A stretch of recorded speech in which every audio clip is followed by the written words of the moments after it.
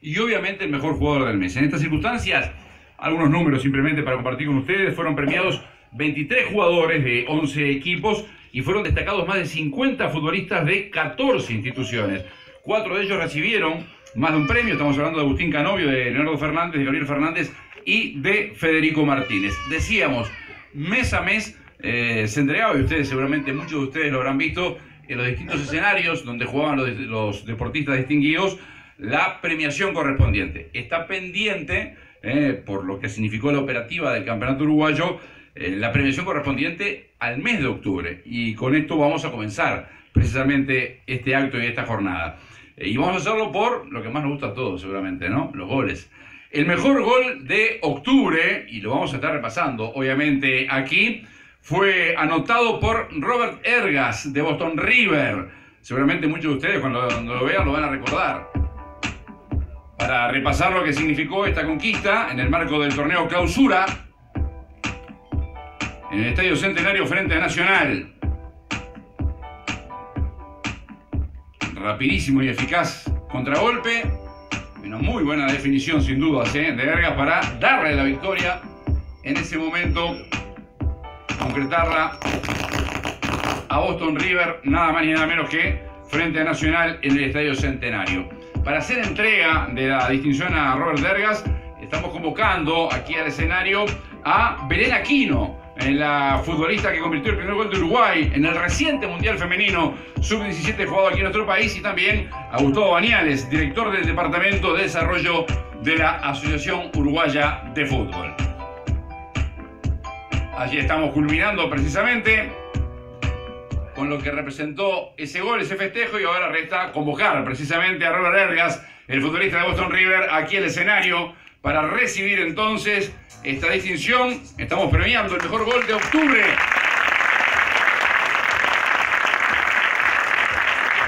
El aplauso correspondiente.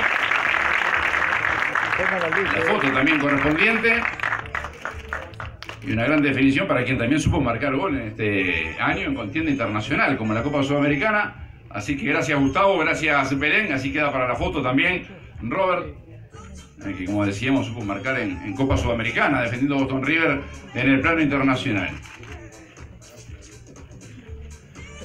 Bueno, muy bien, entonces, gracias Robert eh, y felicitaciones.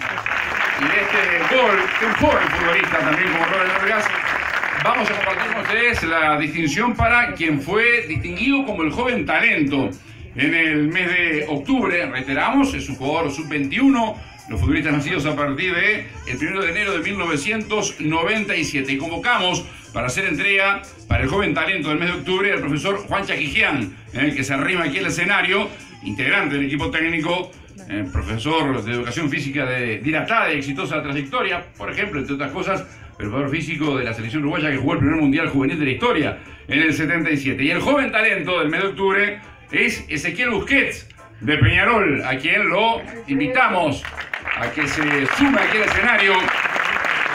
Ezequiel, en el mes de octubre, disputó los cuatro partidos con Peñarol, incluido un clásico ante Nacional, acumuló en ese lapso 320 minutos, Debutó este año en Primera División Ezequiel y disputó 12 encuentros en el Campeonato Uruguayo 2018, además de integrar la selección sub-20 que se prepara para el Sudamericano. Ahí el aplauso entonces para Ezequiel Busquet. Quédate un segundito Ezequiel ahí para tener la fotografía de, de recuerdo. Y así estamos entonces continuando con la distinción.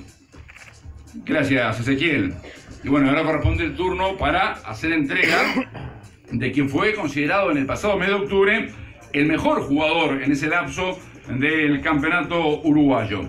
E invitamos a Ernesto Filippi, integrante también del equipo técnico, ex árbitro internacional, presente por ejemplo en el Mundial de Estados Unidos 1994, representando al referato uruguayo, y el mejor jugador del mes de octubre, en este caso, es Federico Martínez de Liverpool, una de las figuras destacadas del equipo de la cuchilla que terminó clasificando para la Copa Sudamericana del próximo año. Federico jugó los cuatro encuentros en el mes de octubre y acumuló 356 minutos, convirtió cuatro goles en ese lapso y además dio dos asistencias.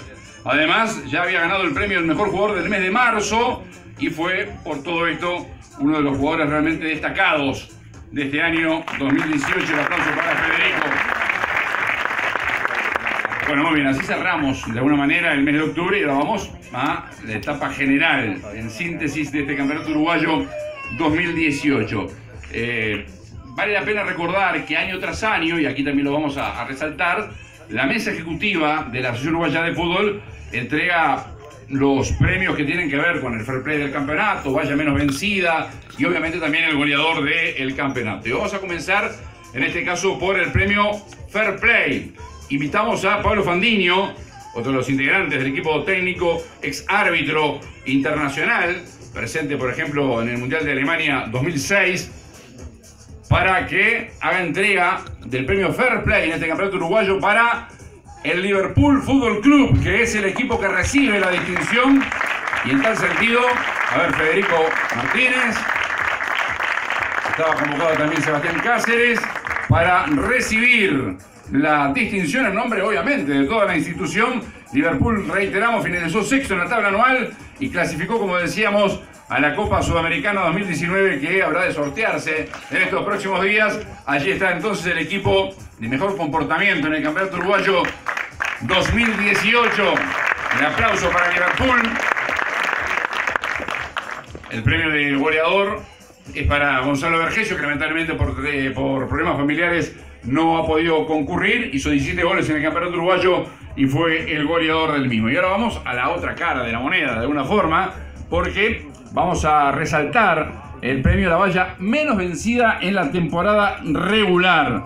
Y en este caso, hablando de valla menos vencida, Fabián Carini, por favor, lo vamos a invitar. También a otros integrantes del equipo técnico, ex golero de la selección uruguaya a nivel de juveniles, de mayores, arquero titular en el Mundial de Corea y Japón 2002 de nuestra selección.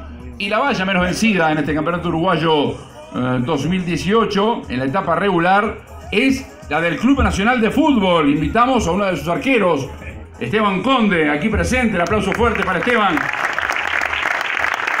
Esteban disputó 19 de los 37 partidos que jugó Nacional, recibiendo en ese lapso 15 goles.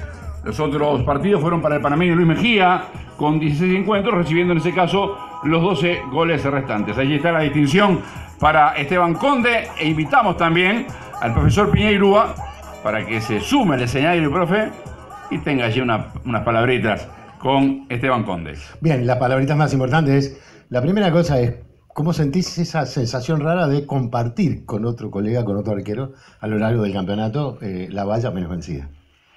Bueno, este, buenas noches para todos. En definitiva, creo que, que para el equipo es, es lo ideal, ¿no? Eh, nosotros, por ahí, si me agarrás con, con menos años, pensaba diferente, me hubiese gustado jugar todos los partidos.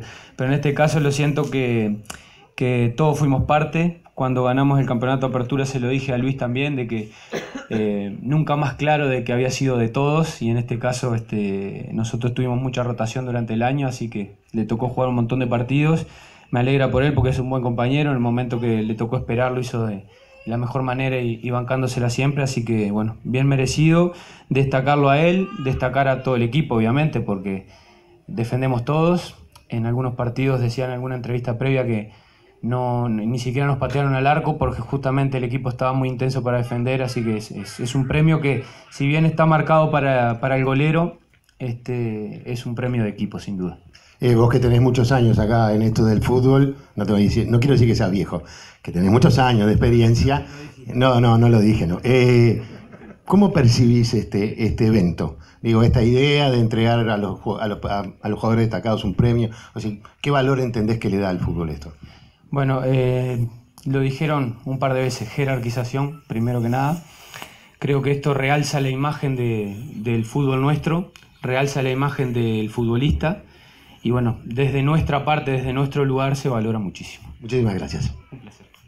Bueno, el aplauso para Esteban, gracias Esteban Conde, ¿eh?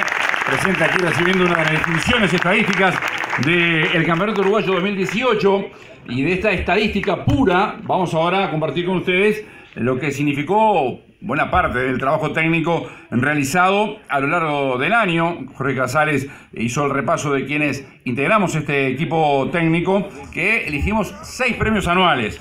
Mejor árbitro, mejor árbitro asistente, el mejor debutante, el joven talento del año, mejor director técnico y mejor gol del año. Esa fue la tarea básica en cuanto a elegir a los distinguidos en tal sentido. Pero además se decidió otorgar dos menciones para resaltar en un caso el juego colectivo y también en el otro la regularidad. Y ahora el premio viene precisamente para este último ítem al que hacíamos referencia, el de la regularidad. Invitamos a Raúl Moller, eh, otro de los integrantes del equipo técnico, futbolista de dilatada trayectoria y técnico de dilatada y exitosa trayectoria también aquí en nuestro medio. Y en este caso, el premio es para el jugador con más minutos en cancha. Y convocamos a recibir esta distinción a Leonardo Pais, el futbolista de Torque. Y el aplauso es para él porque Leonardo, presten atención ustedes, disputó 3.133 minutos en los 35 partidos que jugó su equipo, incluyendo en este caso también la final del torneo intermedio, el que más minutos jugó en todo el campeonato uruguayo, Leonardo Pais. Así que va el saludo para, para él entonces, el aplauso para él, la fotografía correspondiente y símbolo indudablemente, creo que nunca mejor aplicado el término de regularidad y de asistencia con su equipo. Está el tema de cuando se elige un gol, este, los este, elementos que se tienen en cuenta. Y esto fue también este, parte de discusión, este, bien entendida, en, el equipo técnico, este, porque, por ejemplo, hay goles que son espectaculares, con un remate de distancia, que sorprenden, y otros que son este, un himno al fútbol colectivo. Y en este caso vamos a tener también una distinción para eh, lo que consideramos fue el mejor gol de jugada colectiva. Invitamos a ver eh, a Daniela Olivera, capitana de la selección uruguaya femenina sub-17, Valentina Morales y Saya Larrea, también futbolistas de nuestra selección, en el reciente mundial que culminará hace muy pocos días aquí en nuestro país con la actividad de Montevideo, Colonia y Maldonado. Y el mejor gol de jugada colectiva lo vamos a ver precisamente para repasar lo que significó el porqué de esta decisión. Es para el Montevideo Wonders, el premio que aquí lo repasamos. Entonces, ¿por qué se da esta distinción para este gol que convirtió Diego Riolfo?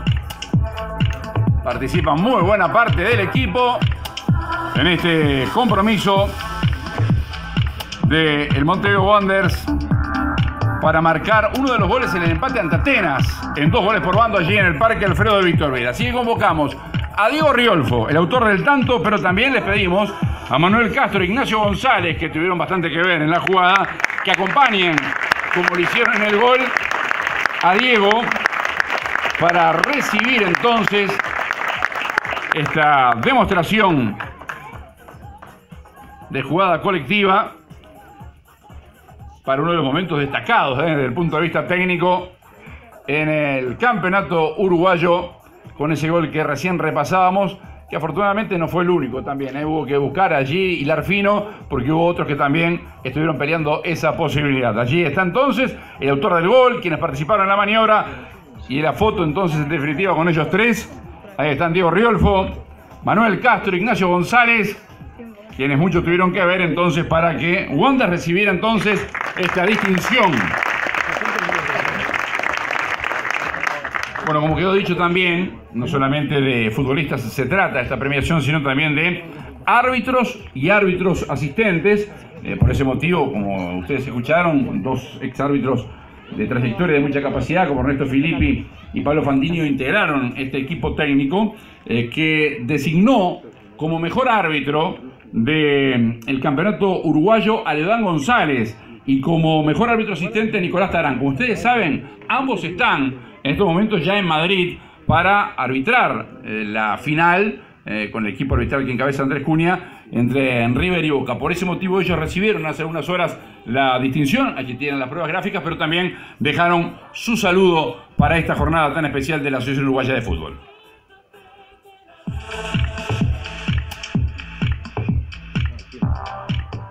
Eh, bueno, una alegría, este, creo que felicitar también a, a, la AUF por, este emprendimiento que ha tomado este año de, distinguir a, todos eh, los, deportistas este, que se han evaluado en el transcurso de todo el año y en el caso personal, este, si bien no era un objetivo que al inicio creo eh, que me ponía, este, eh, a esta altura del año es eh, cuando uno pasa raya, siente la tranquilidad que hizo las cosas bien.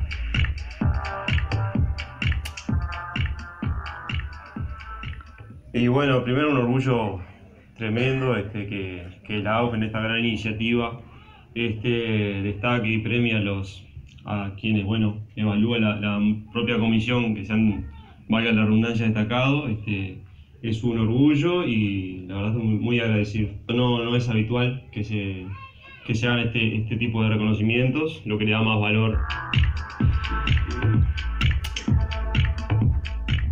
Bueno, muy bien, ahí estaban, ¿eh? Por un lado, Leodán González, Nicolás Fernández tiene además este desafío tan especial, ¿no? De conducir, controlar esta final, más allá de la polémica este, histórica entre River y Boca que tendrá lugar en Madrid. En este caso, vamos a compartir un video con ustedes que tiene que ver con quién recibió o quién fue distinguido como el mejor debutante del año.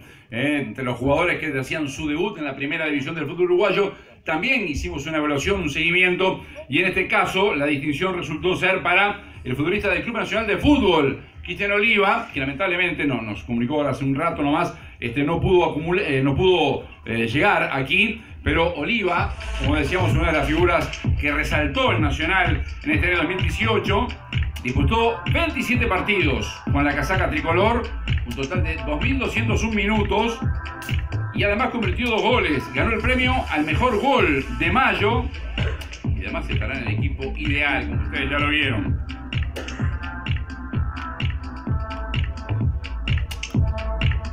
Ahí está Jorge, ahí está entonces la presencia de Cristian Oliva, uno de los debutantes entonces destacados, el más destacado en este campeonato uruguayo 2018, aportando un golazo también como lo que estábamos repasando en estos momentos. Y como les decíamos, este, recién Ezequiel Busquete recibió el premio al joven talento del pasado mes de eh, octubre. Ahora vamos a entregar el premio al joven talento de la temporada. Y vamos a ver precisamente el video entre estos candidatos, el jugador sub-21, el video de quién en definitiva fue designado como el mejor. Para hacer entrega de este premio invitamos a Pablo Forlán, y faltase presentarlo a Pablo, ¿no? Con su destacada y exitosísima trayectoria como futbolista, como entrenador campeón de todo, Pablo, ¿eh? allí está, que también integró el equipo técnico. Y la distinción para el joven talento de la temporada es para Leonardo Fernández, del Centro Atlético Fénix, que se distinguió además de esta manera, varios goles de muy buena factura técnica, de muy buena pegada. Leonardo Fernández entonces es el joven talento de este año 2018 punto de culminar. Y con un gol fundamental también para la permanencia del Centro Atlético Fénix en la primera división de nuestro fútbol. Futbolistas nacidos a partir del 1 de enero del año 1997 son los tenidos en cuenta. Así que le pedimos a Leonardo. ¿Por dónde anda Leonardo? Aquí está para que se acerque al escenario y reciba de manos nada más ni nada menos que de Pablo Forlán esta distinción. Y también le pedimos al profe Piñerúa que se arrime. Después de la fotografía correspondiente. Allí la entrega de Pablo Forlán para Leonardo Fernández. Gracias Pablo. Y la fotografía entonces para este joven futbolista, ¿eh? una de las promesas en definitiva que otorgó el Campeonato Uruguayo 2018.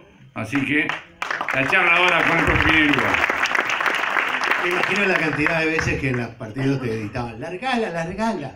¿No? ¿Es mentira? No. No, pasa, pasa, sí. Bueno, pero ¿quién fue el que te animó a, no, no la largue, jugar? ¿Quién fue, por lo menos, que te acordás que fue el que más te animó? Y no sé, nada, en realidad cada uno, digo, adentro de la cancha hace más o menos lo que, lo que piensa que está bien y, nada, y si está la libertad de, la gente de alrededor, digo, de, compañeros y técnicos, digo, ahí está la libertad de uno y de hacer lo que, lo que piensa que esté bien. Eh, los jugadores de, de talento como tú siempre tienen un reflejo de, de otros jugadores. Eh, ¿En qué jugadores te, te reflejas o decís, pa, me gustaría ser como él o me siento como él? No, no sé si me siento, pero sí, este, siempre me gustó mirar mucho de chico, miré mucho a Ronaldinho. Ronaldinho fue, siempre trataba de hacer cosas que, intentar hacer cosas que él hacía, digo. Este, pero nada, siempre, siempre tratando de, de hacer cosas, pero bueno, Intentándolo. sí, obviamente. Muchas gracias, felicidades. eh. El aplauso fuerte grande para Leonardo Fernández, joven talento de este año 2018, de la temporada 2018. Y uno se pregunta a esta altura, ¿no? Porque todavía no sabemos realmente. ¿Quién será el mejor jugador del Campeonato Uruguayo 2018? Hay una terna allí elegida, pero aún no sabemos quién será el destinatario final de ese premio que allí aparece este, destacado precisamente. Pero ahora toca el turno para el premio al mejor gol del año, lo que este equipo técnico consideró el mejor gol del año. Eh, vamos a ver el video precisamente de este mejor gol del año, que seguramente muchos de ustedes van a recordar cuando lo vean, por más que hace algunos meses que se dio. Y fue el de Agustín Canovio, el futbolista de Peñarol, que por el torneo Apertura, decimoprimera fecha, marcaba este gol tan especial frente a Rampla Juniors. Y hablando de goles, invitamos a Rubén Paz a que se arrima al escenario. Dilatada trayectoria también, ¿eh? Y exitosa en muchos clubes, en muchas selecciones, precisamente juveniles y de mayores. Así que con esa imagen del arco y con esa pelota entrando en el ángulo, convocamos a Agustín Canovio para que se acerque y reciba de manos de Rubén Walter Paz esta distinción al mejor gol del año. Las fotos correspondientes. Canovio también recibió el premio al mejor gol de abril y fue premiado como el joven talento en marzo. La charla correspondiente se vendrá ahora con el profe Pinirúa también para que Agustín cuente algunas sensaciones de este, su primer año además en Peñarol y con ese gol realmente impresionante. ¿Cómo andás, Agustín? Bien. Bueno, primero que nada, eh, después, cuando haces el gol, no sé si te das cuenta del tremendo gol que hiciste. ¿Cuándo te empezaste a reflexionar sobre eso?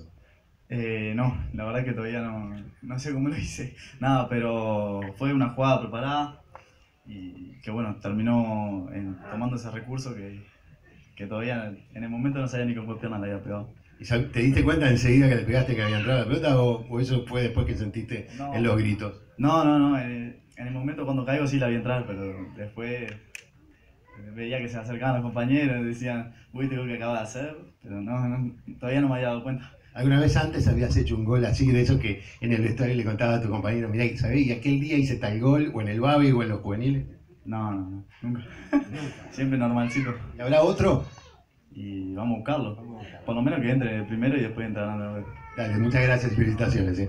Bueno, un aplauso fuerte para Martín Canovio. Nada más ni nada menos, ¿no? Que el premio al mejor gol del año. Una resolución realmente impresionante y para marcar el tanto de apertura aquella noche en el estadio de los Aurinegros. Como decíamos, eh, también obviamente que hubo, eh, como ustedes vieron, eh, árbitros destacados. En este caso también se analizó lo que representó la actuación de los entrenadores que estuvieron presentes en todos y cada uno de los equipos en este año 2018. Y el premio para el mejor director técnico del año es para Diego López. Diego López dirigió 15 partidos apenas en su primera temporada en el fútbol uruguayo, ganó 11, empató 3 y perdió solamente uno, debido a que está fuera del país. Él ya apenas culminado su actividad con Peñarol, eh, se alejó por motivos familiares. De todas maneras, la semana anterior, la Asociación de Fútbol entregó el premio y dejó este mensaje para compartir con todos ustedes.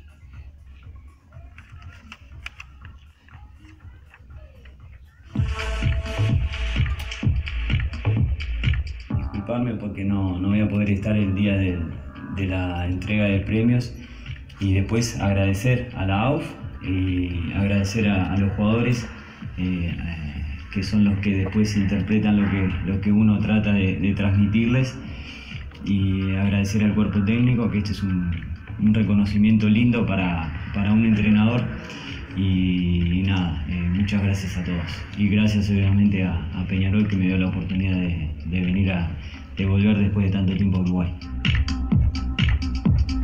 Bueno, muy bien, entonces, más allá de su ausencia, allí aplauso para Diego López, elegido como el mejor entrenador de este campeonato uruguayo 2018. Seguimos obviamente avanzando y esperando que llegue el momento seguramente de, de mayor expectativa, como decíamos, porque la Asociación Uruguaya de Fútbol a través de sus cuentas de Twitter y de Instagram ha ido comunicando, ¿no? ha ido avanzando precisamente en lo que significaba la elección del equipo ideal, los que se iban destacando, pero aún no sabemos quién será distinguido como el mejor jugador del Campeonato Uruguayo 2018. Pero precisamente para elaborar, eh, en principio, el equipo ideal, eh, el equipo técnico se reunió y debemos elegir allí 30 futbolistas. Fue una reunión larga, indudablemente, porque hubo muchas cosas este, arriba de, de la mesa, tratando de, bueno, este, ser los más justos posibles. A partir de ese equipo, de ese plantel, mejor dicho, de 30 futbolistas para el 11 ideal y mejor jugador, obviamente, del torneo en base a lo analizado durante estos nueve meses de competencia, eh, los jurados que eligieron por un lado el equipo ideal y por el otro el mejor del año fueron los 12 integrantes del equipo de la Ciudad Uruguaya de Fútbol, los 15 capitanes de los equipos de primera división, los 15 entrenadores también de los equipos de primera, los 8 árbitros que arbitraron más encuentros en el campeonato uruguayo. Y también se tomó en cuenta, algo que en estos tiempos obviamente que es muy importante, dos votos del público a través de la cuenta de Twitter del campeonato uruguayo y del Instagram de la.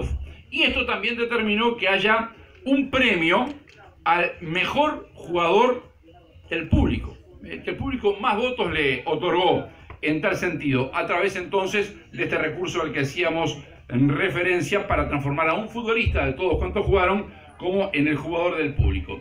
Vamos a invitar a quienes, tuvieron que ver quienes participaron de esta votación, algunos de ellos simplemente, de los muchos que lo hicieron. Invitamos a Sebastián Fonseca y Camila Pires para que se arrimen aquí al escenario. Camila creo que está este, con su hermano Schubert también. Sí, allí vienen precisamente, este, que fueron dos eh, de los 20.618 hinchas que votaron, ¿saben a quién? A Cristian Rodríguez, como, en definitiva, el jugador que en las redes sociales recibe el premio al mejor jugador del público. Obviamente que invitamos a Cristian esté aquí presente y reciba esta distinción tan especial en síntesis de lo que representa la votación de los aficionados, votación que obviamente permitió la Asociación Uruguaya de Fútbol. También Cristian habrá de tener allí una charla con el profe Pineirúa. Cristian jugó 20 partidos, acumulando 1.679 minutos y convirtió de goles, entre ellos el que dio la victoria a Peñarol en el último partido del campeonato uruguayo. Así que Espere, espere, no se me vaya, porque hay una anécdota, vení. A ver, a ver, a ver, no. sé, a ver, Hay una anécdota no se vayan, a ver, a ver, a ver. A ver. prometieron que no iba a hablar. ¿Te prometieron eso? Dice Matías que es mentira. No, simplemente. Gracias, no, Cebolla. Pero hay una anécdota con ellos, una historia. ¿Quién me la va a contar, vos o ellos? Capaz que ellos. Bueno, vení, contame la historia. Eh, bueno, Sugar me llamo, Sugar Pires. Eh, yo tuve cáncer el año pasado y el compañero acá me fue a visitar y me prometió también que iba a ganar un par de clásicos y lo cumplió por suerte. Y bueno, te felicito por tu premio y muchas gracias por todo. Muchas gracias y la verdad que no te conocí hoy, lo diferente que está, esa facha, y me alegra verte. Vamos. No te voy a hacer hablar, ya está. Ya dijiste lo que tenías que decir. Solamente, ¿qué, qué sentís cuando te quiere tanta gente? Eso, te, una, una vez te pregunta, ¿te cambia la vida? ¿Te cambia la relación con tus amigos, tu familia? Eso que constantemente la gente te, te para, te quiere. No, primero que nada agradecer a, a los votantes. eh, y bueno, la vida hay que ser simpático. Eh, nosotros dependemos muchas veces del ánimo de la gente. Uno tiene que salir todos los días. Y la verdad que el apoyo de ellos es fundamental para nosotros, jugar el fútbol, para la familia. Bueno, soy un agradecido, le agradezco al apoyo de la familia, a todo el público presente y a todos los hinchas que votaron. Dale, gracias, eh. Felicidades. Bueno, un aplauso para Cristian Rodríguez, en este 2018 el jugador del público. No se vaya muy lejos, Cristian, porque ahora nos vamos a acercar precisamente a uno de los momentos, o quizás el momento, por lo menos creo que, no digo el más importante, pero el de más expectativa, el de mayor incertidumbre. Nos vamos acercando a conocer, en síntesis, quién fue elegido y valorado como el mejor jugador del campeonato uruguayo en el mecanismo que recién les explicamos a todos ustedes. Vamos a repasar imágenes precisamente de actuaciones de los futbolistas que quedaron en la terna para mejor jugador del año. Estamos hablando, en este caso, los candidatos finalistas son Leandro Paiva, del Club Atlético Cerro.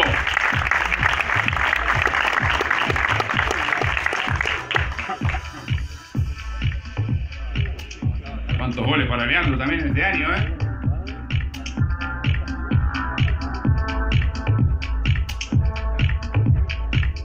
Aquí estamos repasando uno de los tres nombres candidatos a recibir el mejor premio, el premio al mejor del año. El otro, Cristian Rodríguez, precisamente.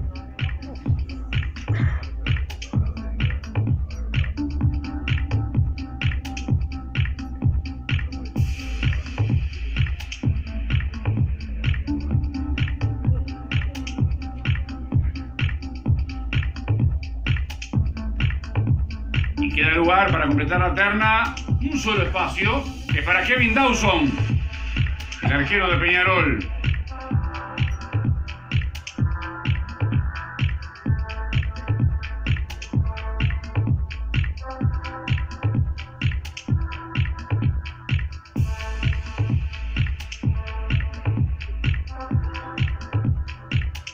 Aquí están los tres nombres entonces, Leandro Paiva, Cristian Rodríguez y Kevin Dawson.